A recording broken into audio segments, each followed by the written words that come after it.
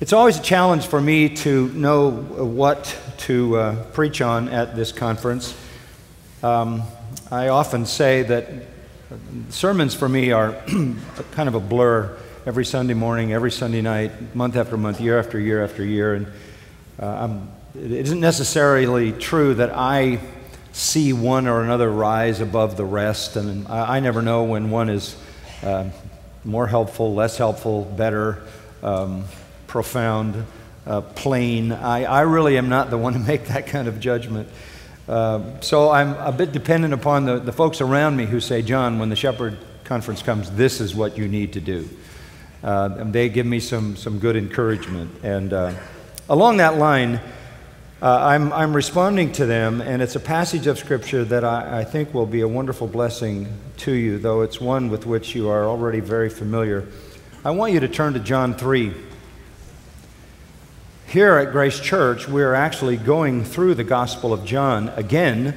We, we did this the first year I came back in 1969, and uh, so now we're going through it again, this time with some depth, I might add. and we're having an absolutely wonderful time in the Gospel of John. And uh, we have recently gone through the third chapter, and I, and I guess why that uh, struck people uh, the way it did in, in a fresh and, and, dynamic way, and uh, was suggested it would be helpful to you. Let me see if I can just kind of make a few preliminary comments to set it up. Uh, I, I, want you to work with me through this passage. I, I, I, want you to look at this passage not as an audience, but as a student. I, I, want to kind of take you through the process of expositing a passage, of, of drilling down on it and, uh, and understanding its, its richness. At the same time, uh, it isn't just an exercise in uh, hermeneutics or uh, an exercise in exposition.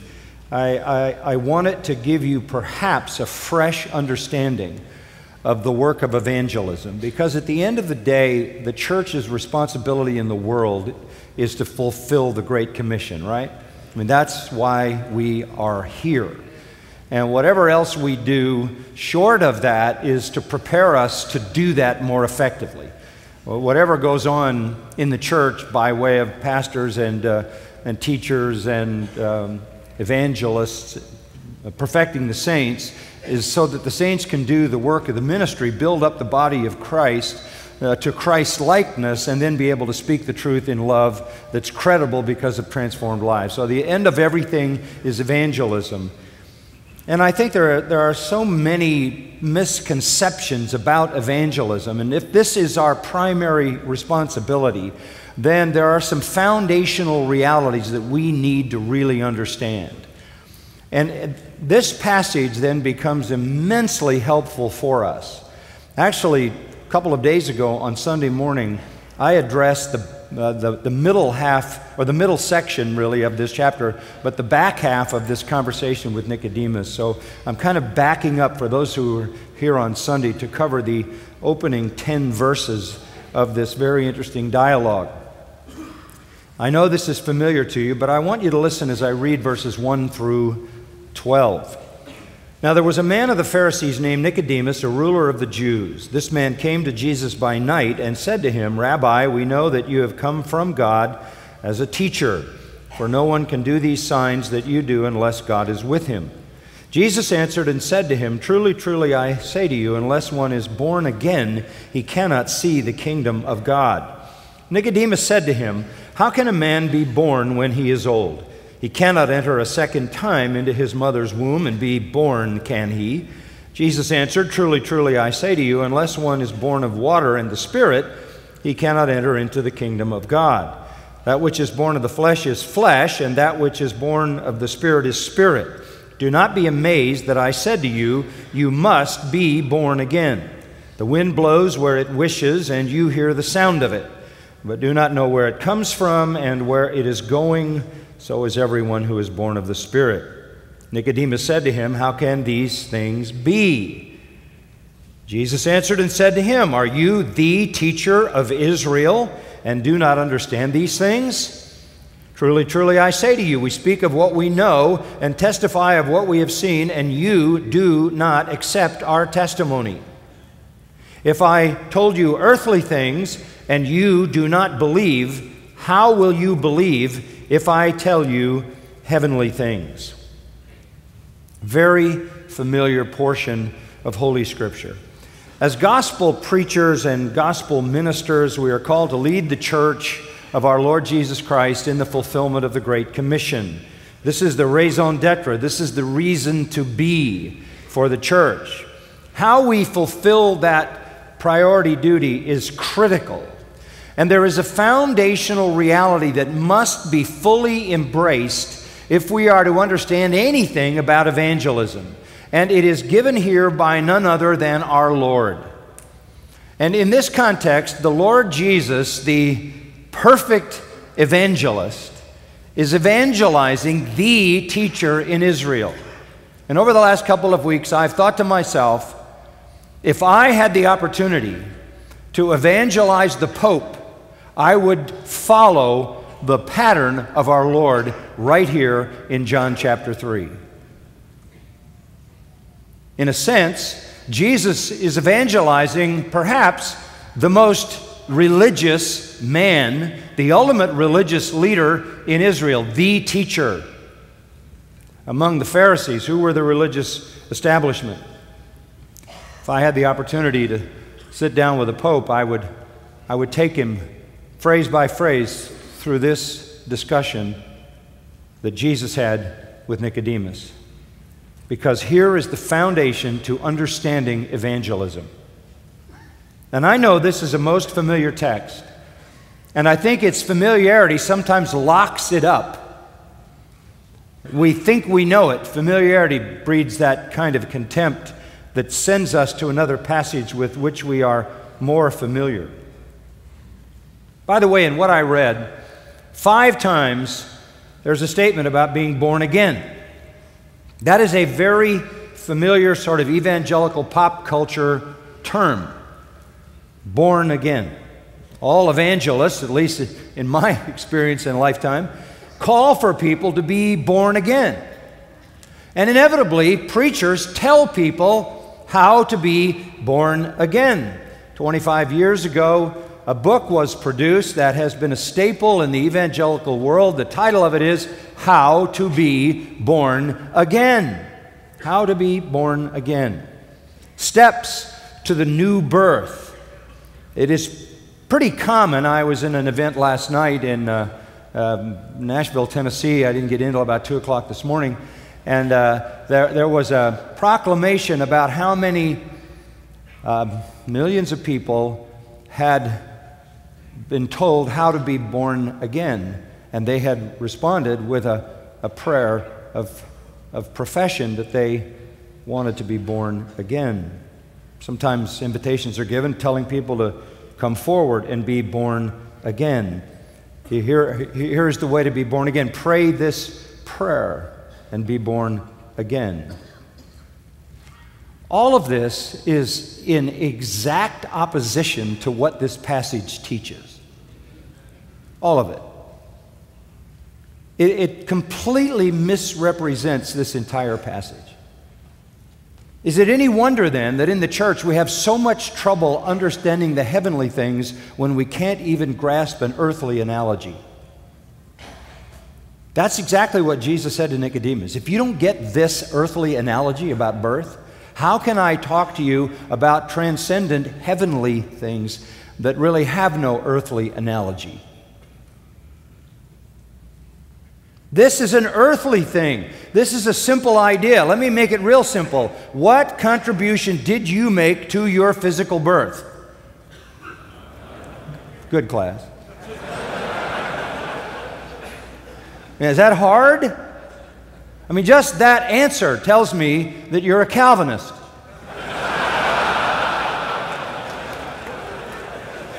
End of discussion. You're on record. I heard it. It's recorded. That's the whole point. Simple truth. Here is a phony, self righteous, legalistic, hypocritical Pharisee. And Jesus is having a conversation with him about entry into the kingdom. And the bottom line is, he tells him, What you want, you can't do. There are no steps. Jesus doesn't give him any steps to be born again. He doesn't tell him how to give birth to himself. That's ludicrous.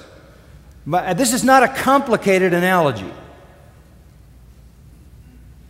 And if you ever grasp this most fundamental truth of salvation, that something must happen to you that comes from heaven which you do not participate in, you're on your way to understanding the heavenly aspects of the panoply of the glorious elements of the doctrine of salvation. And yet, almost every person who wants to fight against the sovereignty of God in salvation preaches this chapter misses the whole point of the analogy. This is the foundational truth of salvation. The Lord gives no command. He does not tell him to be born again by doing such and such. He does say you must be born again. That's not a command, that's a statement of fact. Okay? You must be born again. That's a statement of fact. That's not a command. That's a fact. There are no steps. Jesus doesn't say, pray this prayer, do this, the very analogy defies that kind of understanding.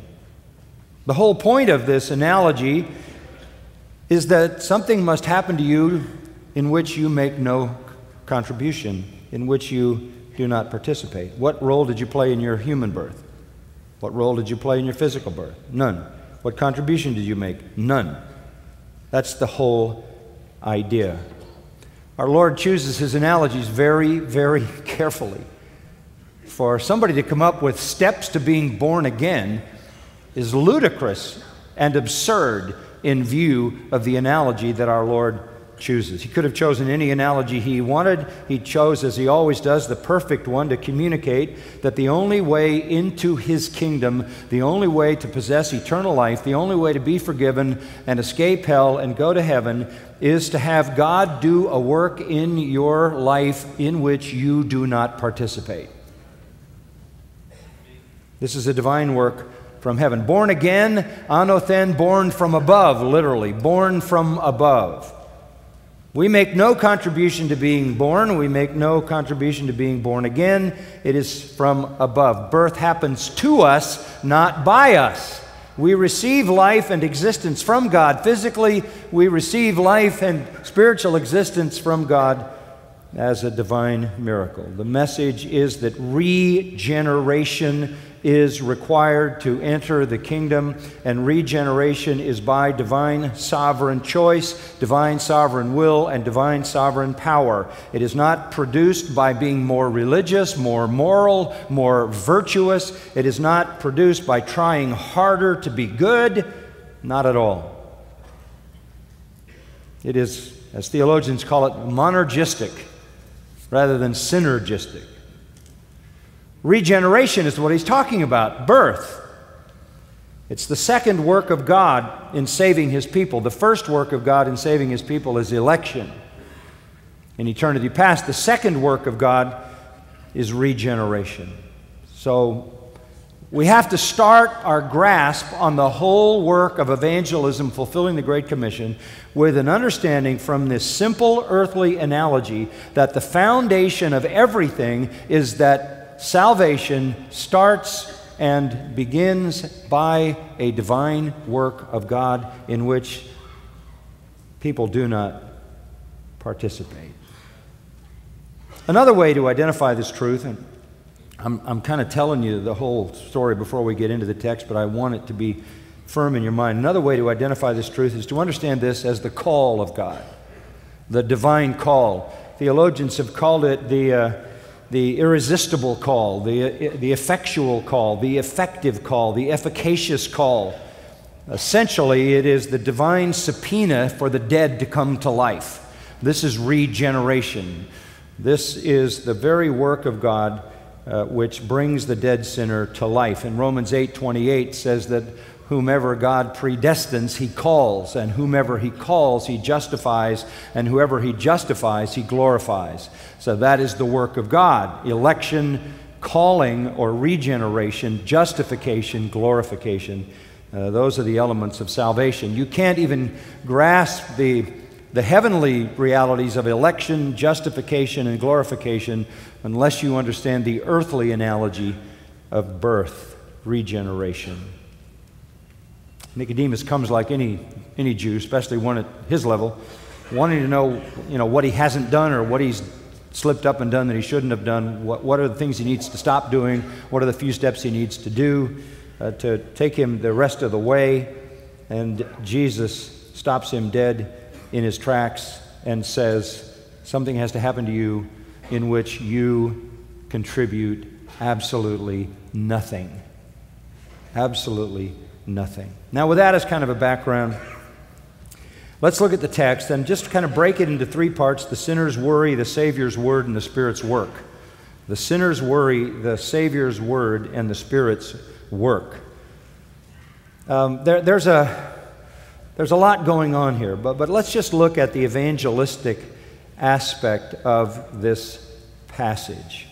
The kingdom of salvation, listen, the kingdom of salvation opens its doors only from the inside. Only from the inside.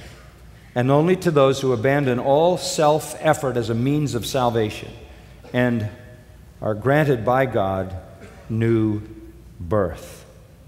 Now, this literally stops this legalist dead in his tracks because it's all he's ever known has been that you earn your way in. Now, let's go back to verse 23 of 2 and, and kind of work through this a little bit. When he was in Jerusalem at the Passover during the feast, this is at the beginning of his ministry, many believed in his name uh, or observing his signs, which he was doing. But Jesus, on his part, was not entrusting himself to them, for he knew all men, and because he didn't need anyone to testify concerning man, for he himself knew what was in man. He knew what was in man. He knew the secret thoughts of every single man. He reads every mind. Uh, this is John affirming the deity and glory of the Son of God based on his omniscience. He knows what only God can know and knows. And so Jesus is aware that though they believed in his name, that isn't saving faith. What did they believe? What, what, what was the essential content of what they believed? Go down to verse 2 of chapter 3. We know, and he's speaking for himself and the others that are mentioned back in 23 to 25, the many who believed in his name, that there probably was a lot of discussion going on among these who may have found each other. And so Nicodemus speaks for all of them. This is what we know. This is what we believe. We know you have come from God as a teacher because no one can do these signs that you do unless God is with him. So this is what they believe. They believe he's a teacher from God. They believe that. They've never seen a miracle worker. There hasn't been a miracle worker. There hasn't been a prophet uh, up until John the Baptist, and John the Baptist didn't do any miracles. There hadn't been a prophet for 400 years. Um, they, they were not used to miracles. Miracles didn't happen and then they came in a flurry. And Jesus had been doing them uh, before and during and after the Passover on this very uh, occasion. So they were very aware that this had to be a teacher from God. That's essentially what they believed. Now, this gives tremendous hope to Nicodemus. Here is a teacher from God, obviously because of the power that is on display through him power over demons, power over disease, that later he would demonstrate power over death and power over nature, and he began to show that power, and they drew an obvious conclusion. That leads us into the story of one of them, one of these believers, one of these believers who believed in his name to the degree that they believed he was a teacher sent from God. With all of his religion, with all of his um, achievements, and historians tell us that Nicodemus was one of the three wealthiest people in the city of Jerusalem, and he had achieved that wealth uh, because he had been so elevated as, as a teacher. He was a part of the Sanhedrin, the Supreme Court of Israel. He, he was a highly esteemed man. Verse 10 the teacher in Israel, definite article. He had reached the absolute pinnacle in Pharisaic Judaism. He was the chief apostate hypocrite. That's what he was. And guess what? Hypocrites know they're hypocrites. It's a game they play. It's a game they play. They're not deceived, they, they know their own wretchedness. And this is a man who is among the Pharisees named Nicodemus. His name means victor over the people, from which we get uh, uh, Nike, Nicodemus. He was, he was named a, a kind of a triumphant name. He is a Pharisee, which means he's a legalist. He's at the heart of apostate, corrupt Judaism. In fact, he, had, he and all of his friends had recently been assaulted back in chapter 2, verses 13 to 18. Jesus came to the temple, which was run by the Sadducees, but embodied the religion of the Pharisees. You remember, he made a whip and he just attacked it. I wouldn't ever call it cleansing the temple because it was as foul when he finished as it was before he started. So he didn't do anything to clean the place, he cleaned out the place in that sense. So he had literally assaulted the, the religion that Nicodemus uh, was a part of and a very important part of. He is among the most separated, that's, that's what Pharisee means. He, he is among the most devout. He has taken the, the high road. Um, he's an elevated man. But the truth of the man is this his life was a pile of manure. You say, How do you know that? Because that's exactly what Paul said it was in Philippians chapter 3. He was a Pharisee of the Pharisees. He was zealous for the law. He was a tribe of Benjamin, uh, um, you know, blameless, etc., etc., circumcised. And he said it was all what? It's all manure, all dung, excrement. So here was a man whose life was just full of that. That's all it was, and nothing more. Now, that is the best that can be said about it. That is the best that can be said about it. The worst that can be said about it is the diatribe that Jesus pronounced on the Pharisees in the 23rd chapter of Matthew. And you remember that in the 23rd chapter of Matthew, Jesus blistered them. It's the, it's the most blistering malediction he ever uttered against anybody that's recorded on the pages of the Gospels. And he identified them as hypocrites every way possible um, as whited tombs inside full of dead men's bones. I, I, think the most devastating one, he called them sons of hell who produce more sons of hell. Uh, they, they, they literally are responsible for hellish results in people's lives. They're responsible, in a sense, for catapulting people into hell with their deception and their lies. They're a part of a progeny that have killed the prophets and murdered the prophets and slaughtered the prophets and will now slaughter the Son of God, and desolation will come upon Israel and upon Jerusalem and upon the temple. And you remember Matthew 23. It's just an unbelievable statement of rebuke and devastating judgment on the Pharisees. Well, here is their main man. So I don't know how, what your sentimental ideas about Nicodemus have been in the past. This is a bad man. But in the eyes of the people, it's an elevated man. He comes from probably an elite family. He's very, very wealthy. He is a very gifted and able teacher. He is probably as good as there is um, an articulator of apostasy. He's very adept. He's at the top of the pile. He's a ruler of the Jews, a rabbi, a teacher, the teacher. By the way, he's the only Pharisee in the entire Gospels who ever came to Jesus. The only one. If you want to get an illustration, you have to go to Paul to find another Pharisee. There's, uh, there's fear in his heart. So we call this a sinner's worry. He comes to Jesus. He's very cordial, Rabbi. It says he came to Jesus by night. People say, What does that mean? It means he came to Jesus by night. what, do you, what do you want me to say? You mean to, to put something in the white space? I don't know why he came by night, but you can read pages and pages about why he came by night. Night depicted his sin. He was trying to hide. I don't know. He came by night. I, I would suggest that any time is a good time to come to Jesus. Would you agree? Yeah, so let's not preach on that. You know, I love the response of our Lord. Now remember this. This is, this is, like, this is like the Pope coming to Jesus. This is the main religious man of an apostate, corrupted system. And you don't hear a diatribe like you do in Matthew 23 against him. What you get here is a kind of a fulfillment of Matthew 12 20. Do you remember that? Borrowed from Isaiah 42, which says concerning Christ, a battered reed he will not break, and a smoldering wick he will not put out. Here was a man who was a battered reed. Here was a man who was a smoldering wick. The light of his life was burning low. He was full of fear, dread, doubt, worry, angst. There's a courtesy, Rabbi. He knew what that word meant because it had been used to speak of him on a daily basis. And he affirms the fact that he knows he's a teacher from God. God has to be with you. And in his mind, he's thinking, maybe I can, maybe I can find the answer here. I've reached the pinnacle of religion. I've come to the very top, and I'm a hypocrite, and I know it. I know it. Where do I go? Where do I turn? Here's a man who's from God. Maybe he knows what else I need to do. And that's why he came.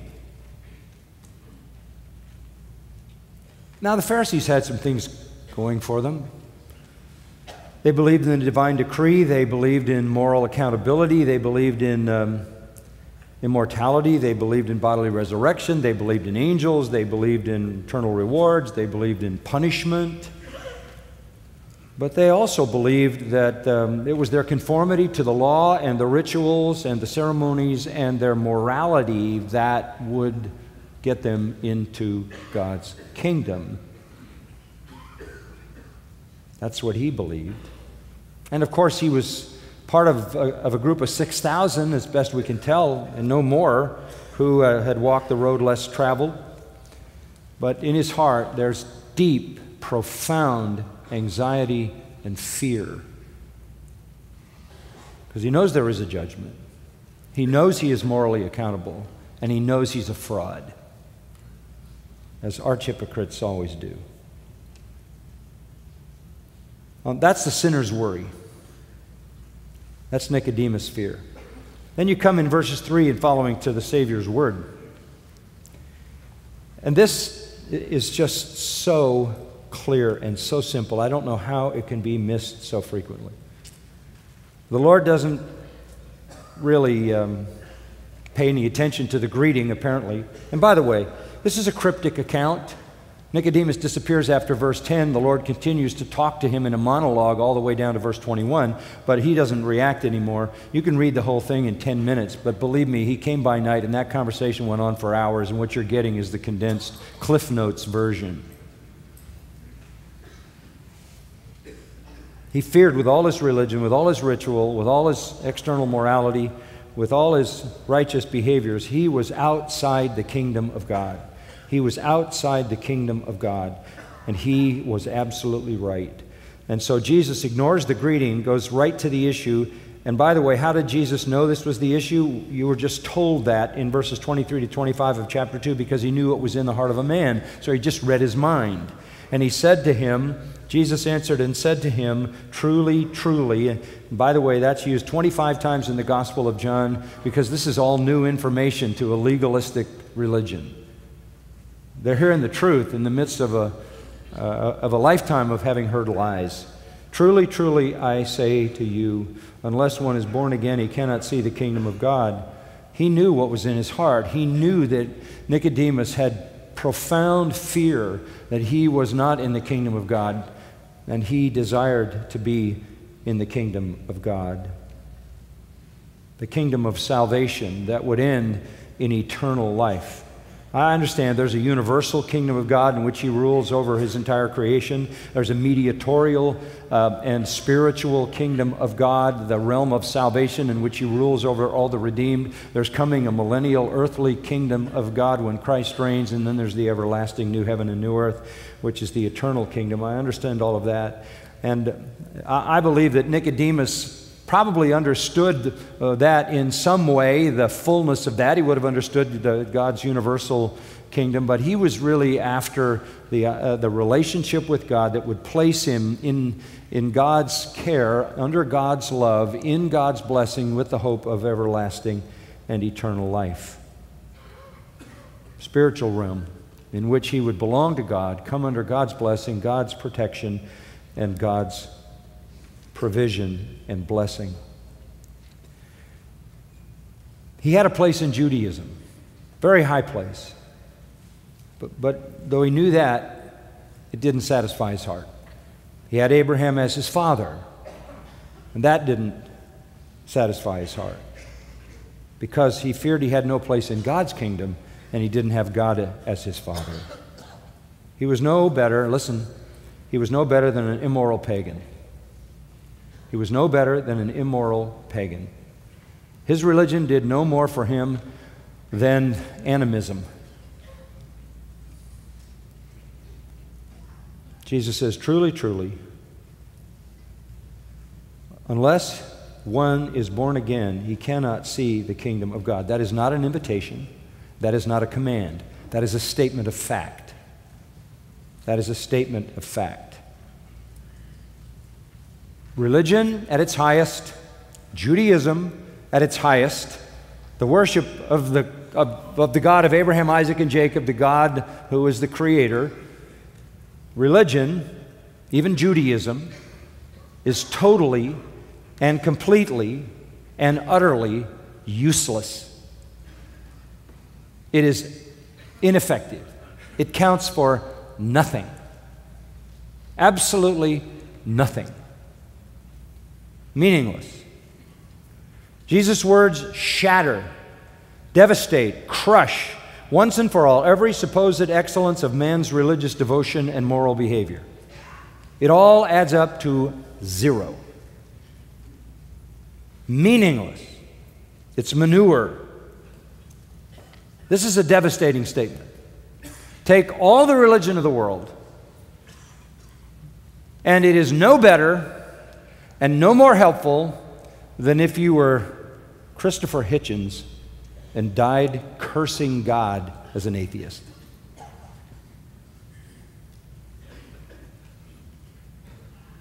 He says, You must be born again. That's nothing to do with your religion. And he says it five times verse 3, 5, 6, 7, 8. And I won't take the time to do that, but you can go through 1 John 2, 3, 4, 5, and you'll see a half a dozen times this concept of being born again, born again, born again, born again, born again. What that means is that everything you've accumulated in your life counts for nothing. None of it can make a contribution at all. You have to go all the way back to the beginning.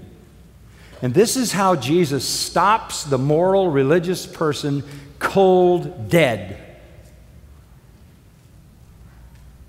It all meant Absolutely nothing. All of it. Nothing.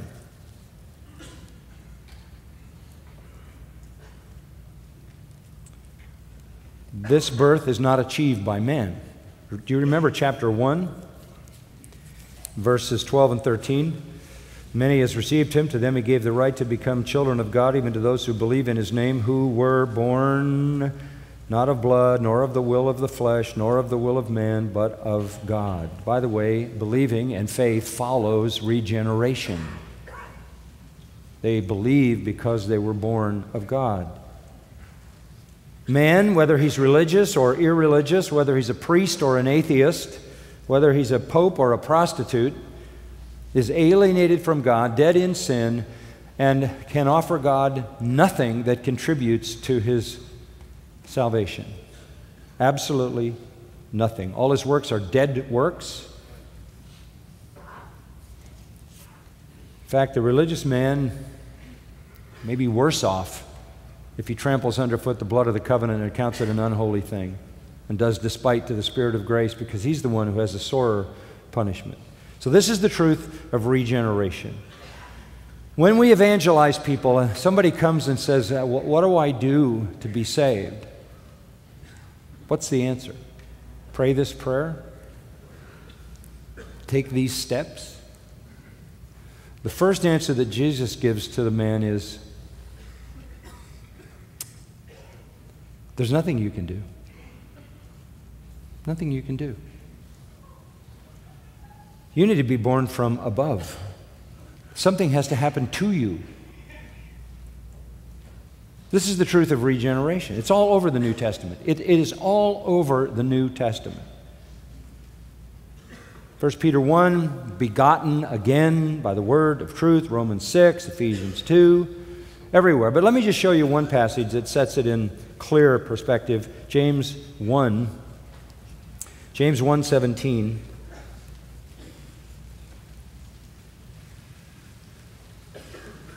Don't be deceived. Don't be fooled. Satan would like you to be deceived, obviously, about the matter of regeneration. Every good thing given and every perfect gift is from above. You have to be born from above. Here's, a, here's that very parallel. This is both inclusive and comprehensive. Every good thing, every perfect gift is from above, coming down from the Father of lights, with whom there is no variation or shifting shadow. Father of lights was an ancient Jewish title for God as the creator of light, and it's a wonderful one to use here because there are all kinds of shadows and changes in light. Uh, the, as the earth rotates, it, it, part of the time we're in the sun, part of the time the sun is obscured and we have darkness. Uh, that's just all of our human experience. But when it comes to God, there is no variation. He is light all the time. Uh, he is just defined that way. There, there's no parallax with God. No matter what angle you look at him, you see the same thing. And then he goes on to say this In the exercise of his will, he brought us forth. In the exercise of his will, he brought us forth. He gave us birth. He birthed us. He gave us life. Now you can go back to John chapter 3. So, so this, that's just one of many, many scriptures that talk about regeneration being a sovereign, miraculous work of God. Now we come to the response of Nicodemus in verse 4. Nicodemus said to him, How can a man be born when he is old? He cannot enter a second time into his mother's womb and be born, can he? That, that, uh, that response from Nicodemus has, uh, has, I think, been misrepresented an awful lot. Nicodemus is a smart man. He didn't get to be the top of the Pharisaic pile. He didn't become the teacher in Israel because he didn't understand analogies. I promise you, he spent his whole rabbinic life talking in analogies. That's what rabbis did. They, they talked off the, the, off the idea onto the illustration. If you read rabbinic literature, it's all about analogies and illustrations and word pictures. This is life for him. He was very used to this. So he got it. He got it. He knows exactly what the conversation is about. He doesn't say to Jesus, Whoa, whoa, whoa, why are you talking about that? He knows he read his mind, and he got the earthly analogy in a sense. So he asks two questions How can a man be born when he's old? He can't enter a second time into his mother's womb and be born, can he? He is simply responding by saying this What you're suggesting in your analogy is that to enter the kingdom is impossible for me. Right. Right. He gets it. He picks up the analogy. You're suggesting that I can't do anything to enter the kingdom. Right. Mean, do you understand? This just turns his entire life on its head. This is Paul on the Damascus Road, for the first time realizing it was all manure. He understands the analogy better than many evangelicals, apparently. It's very clear. It's a simple earthly analogy. You're, you're trying to, you're asking about what you can do, and the answer is nothing. Absolutely nothing. He's reacting like any legalist would react. He's saying, in effect, well, what, what about my whole life? Doesn't count for anything?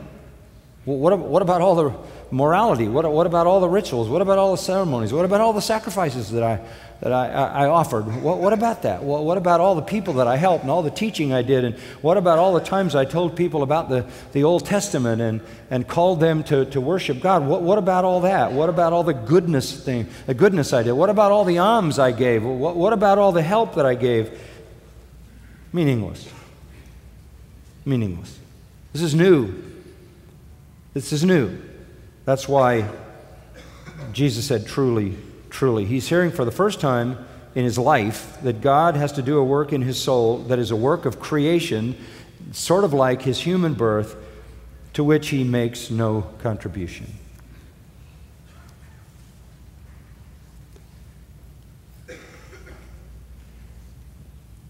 Jesus is shattering everything he has ever known about religion. Verse 5 Jesus answered, Truly, truly, I say to you, unless one is born of water and the Spirit, he cannot enter into the kingdom of God. Oh, water and the Spirit. What does that mean? Well, you've, you've heard lots of explanations of that. Water refers to human birth, and spirit refers to spiritual birth. That's, that's not the, the right way to interpret that. Um, in English, we call we say the water breaks, but that's, that was not a Hebrew expression. Some people think this means baptism. That's a popular notion. But Nicodemus would know nothing about Christian baptism, since Christian baptism didn't start till the church started, Pentecost. So he wouldn't have known anything about water as such in, in any kind of baptism though there, was a, there were washings and proselyte baptisms. What is our Lord saying? Our, our Lord is, is just simply referring to the, the new covenant passages, in particular in Ezekiel 36. Turn to Ezekiel 36 for a moment. This is a teacher in Israel who, who knows his Old Testament, who is a master of the Old Testament text. He would know the wonderful promise of Ezekiel 36 and you, you know it as well. This is a promise from God. And, and here, this is very important to understand this text. We could look at others, but for the sake of time, this one will do. There will come a time, in verses 22 and following, that God will uh, vindicate his holiness and vindicate his great name. And he will, in verse 24, take um, the scattered people of Israel from the nations and gather them from the lands and bring them into their own land. Okay, then this promise. This is the promise of the future salvation of Israel. Notice, I will, and you will see it here five times. I will sprinkle clean water on you, and you will be clean. I will cleanse you from all your filthiness and from all your idols. I will give you a new heart, put a new spirit within you. I will remove the heart of stone from your flesh and give you a heart of flesh. I will put my spirit within you, cause you to walk in my statutes, and finally, you will be careful to observe my ordinances. That's regeneration. That's the heavenly work. I will, I will, I will, I will, I will, and then you will. Nicodemus knew that passage. He knew that regeneration was a work of God. You find the same emphasis in the 11th chapter of Ezekiel. You find it illustrated in the 37th chapter of Israel in the Valley of Dry Bones, right? Where God gives life to the dead bones. You find this in Jeremiah 24. You find it in Jeremiah 31, 31 to 33, the new covenant passage in Jeremiah. So this is not new. Nicodemus, what has to happen is this unless one, notice how he's talking third person here. He's not inviting Nicodemus to do anything, he's stating facts unless one is born of water and the Spirit. In other words, unless that divine I will work of God happens, in which God cleanses the sinner's heart and takes out his stony heart and plants his Spirit within and gives him life, he cannot enter the kingdom of God. And again, what he's emphasizing is this is a work of God. This is a work that only God can do and does without the aid of the sinner. And the, verse 5 is from the text of Ezekiel. Verse 6 is just reason. That which is born of the flesh is flesh, and that which is born of the spirit is spirit. The, the flesh can only produce more flesh. That's uh, depravity. That, that's should be well known to Nicodemus. If you read Romans 3 10 to 20, you know there's none righteous, no, not one. You go all the way down that. You know that every single one of those lines was taken out of the Old Testament. Every one. So there's a very clear doctrine of total depravity in the Old Testament. Total depravity of man, utter inability, is an Old Testament doctrine. And if you had any questions about the wretchedness of man in the Old Testament, you must have skipped the flood. So, this is the foundation of all gospel and salvation truth. The sinner is flesh, and flesh produces only more of itself. I mean, Nicodemus has nowhere to go. All his religion has been crushed into powder, all his morality has been revealed to be useless. He can make no contribution. He is literally there without capability, nowhere to turn. It, it looks like a dead end. All that the flesh can produce is the flesh. And then this, but that which is born of the Spirit is Spirit. That which is born of the Spirit is Spirit. Do not be amazed that I said to you, You must be born from above. Lazarus can't raise himself, and we are a race of Lazaruses.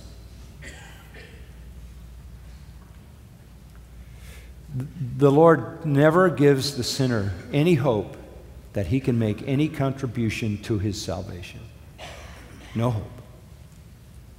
And do you understand? This is the archetypal legalist being told it's all useless. Now, this is so instructive for us when we do evangelism to stop the sinner dead in his tracks in the hopelessness of his own anger, uh, of his own angst and his own fear and his own inability. And so, no wonder Jesus in verse 7 repeats it Don't be amazed then. You can only produce flesh. You must be born from above. You must be born from above. You must be born of the Spirit. So we see the sinner's worry in the couple of verses that open the thing, and then we see the Savior's word about this regeneration being a heavenly work, a unilateral, monergistic work of God.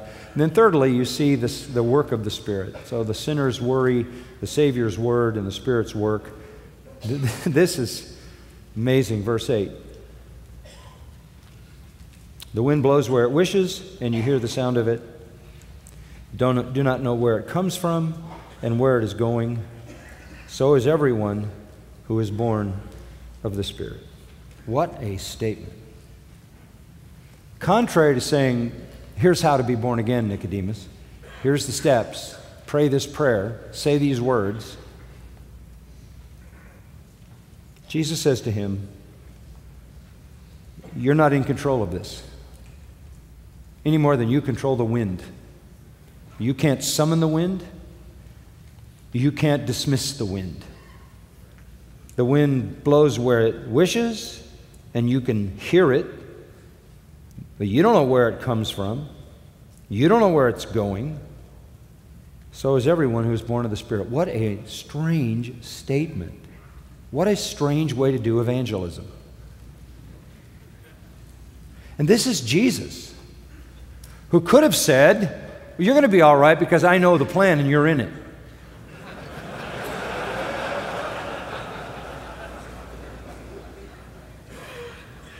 But instead, he leaves this massive mystery. You're not in control of it. How about that?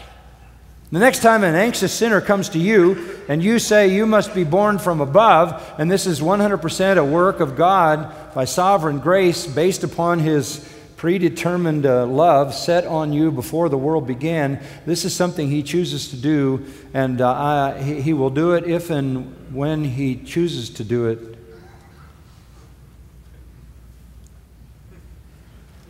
You have just placed the sinner in the absolute perfect position because he is now faced with the fact that he can do nothing.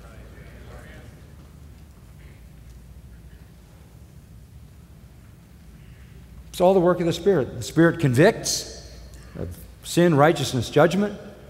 The Spirit produces repentance. The Spirit produces faith. And all of that is in the work of the Spirit in which He gives life. Here's another analogy the analogy of the wind. This is, a, this is another earthly thing. I'm giving you a simple analogy. The wind is invisible, the wind is irresistible, the wind is uncontrollable, the wind is unpredictable. The wind is not um, subject to human summons or desire, so is the work of the Holy Spirit. Wow, what a statement. Nicodemus, right now, it's got a theological headache. In verse 9, he says, How can these things be? Everything he's ever known is turned upside down, inside out. He isn't even willing to accept the truth of depravity, inability. Certainly not birth, regeneration, to which he can make no contribution at all. Can I suggest to you that this is just pure spiritual genius, putting the sinner in an impossible position?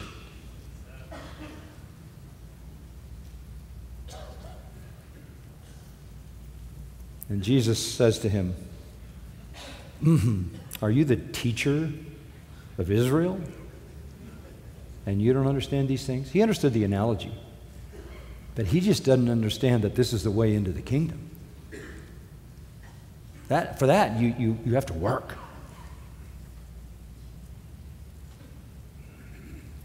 Well, what was the final verdict on this little conversation?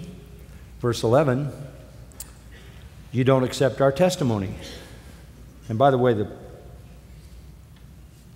pronoun you is plural, so you and all the rest of the Pharisees and the nation. And then verse 12, I've been telling you earthly things. I gave you an analogy of birth, I gave you a second analogy of wind. You don't believe. What didn't he believe? He believed that Jesus was a teacher sent from God, because nobody could do what he did apart from that. But he didn't believe that the way into the kingdom was something to which he could make no contribution. He just couldn't get extracted out of a works righteousness system.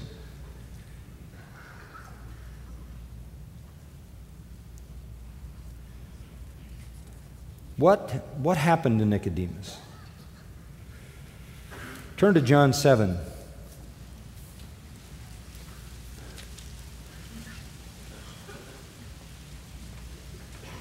Things are heating up, uh, as you, you remember, for Jesus by the seventh chapter. The Jews, verse 1, are seeking to kill him. Uh, Jesus goes into the temple. Everything he says just elevates their hatred, their animosity.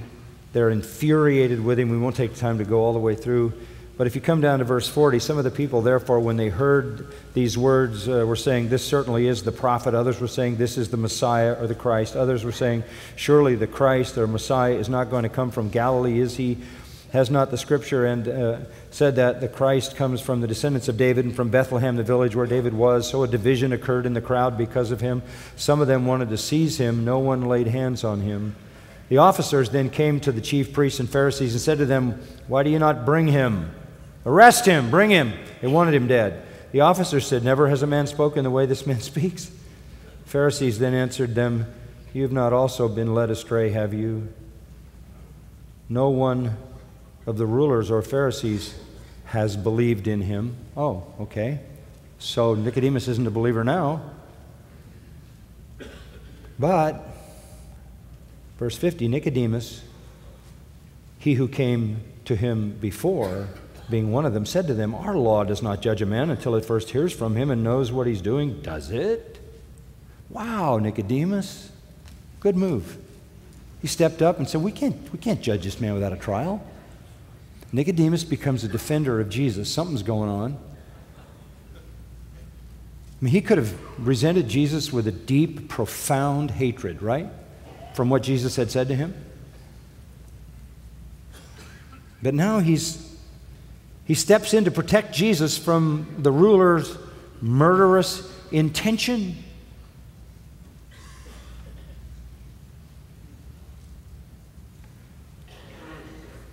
This is a long time later.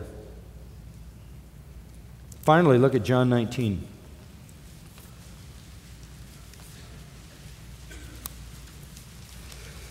Verse 38.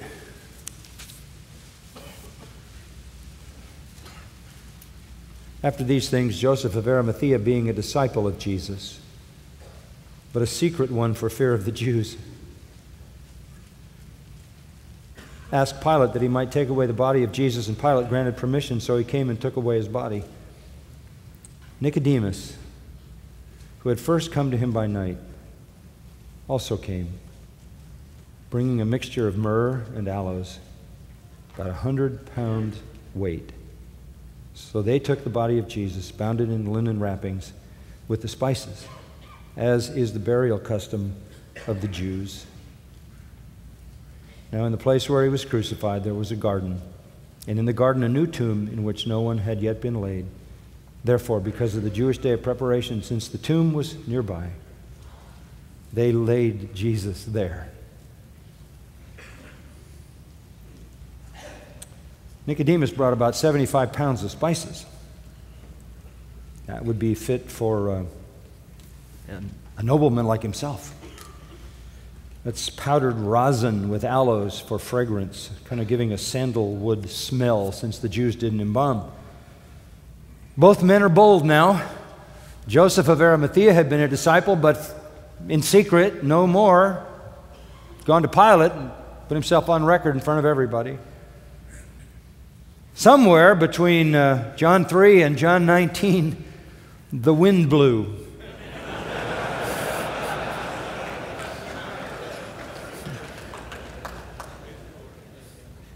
And the rest of the story.